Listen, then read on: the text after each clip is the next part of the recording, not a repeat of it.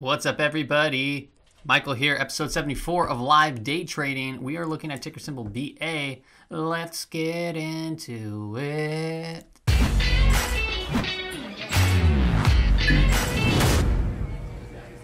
Okie dokie, this is what I'm seeing. I'm on the one minute chart. I'm also kind of flipping between this and the five minute, just kind of get a good sense as to where price action is going. On the five minute, a gap down today and then acted as support around here, kind of went, bounced up a little bit and then broke through this, and then acted as resistance and then burst through it. And now the price action is kind of moving around this point. So I figured, hey, I can probably capture some profits if it moves up all the way down to this blue line and maybe even past some. The MACD does look like it wants to cross over. I got to be careful here because it does potentially present itself as a bounce point. So what you could potentially do is consider this an area to actually get in long so it moves up higher. But with the market gapping down, there's more ideals in our favor to be short, but that doesn't necessarily mean it's going to happen. BA has been, um, BA meaning uh, Boeing, the stock that I'm trading right now.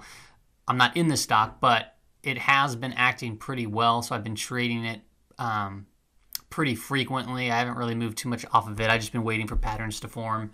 Um, not saying that I wouldn't trade something else, but it's just been working out in my favor. So I'm going to see here if I can get a good entrance uh, if I cannot, then I'll just move on.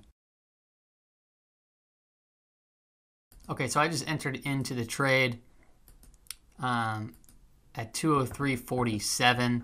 I'm thinking it's going to be breaking down. I actually, it looked like it was breaking down just there, and for some reason it just filled me a little bit a little bit higher, but I think we'll be seeing a breakdown and we'll probably just kind of forming this cliff. As you can see, there's a lot of downwards pressure forming kind of a sideways action. There's that cliff, about 250 shares. Push, push, push, baby. Push, baby. push. All right, I'm going to capture some profits. Come on, push. Down to the blue line. Here we go.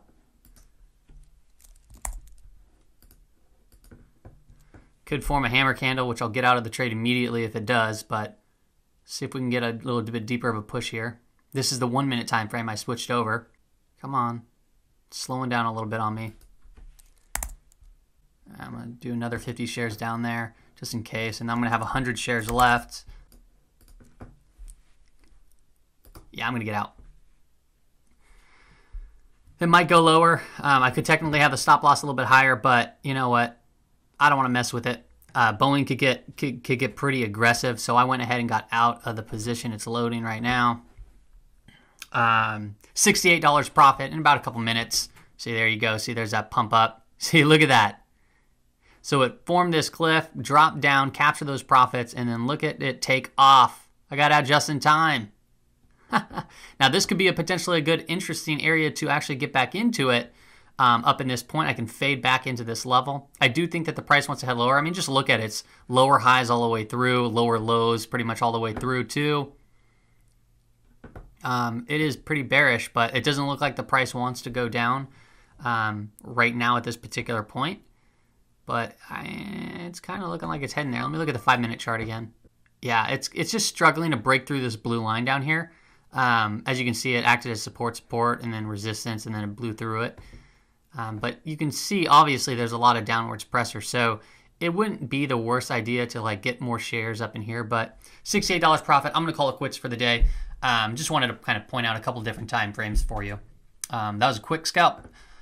I will see you back here tomorrow um, actually, I'll probably see you later today if you watch my S&P 500 technical analysis updates. But I will be back with live trading tomorrow. See you later.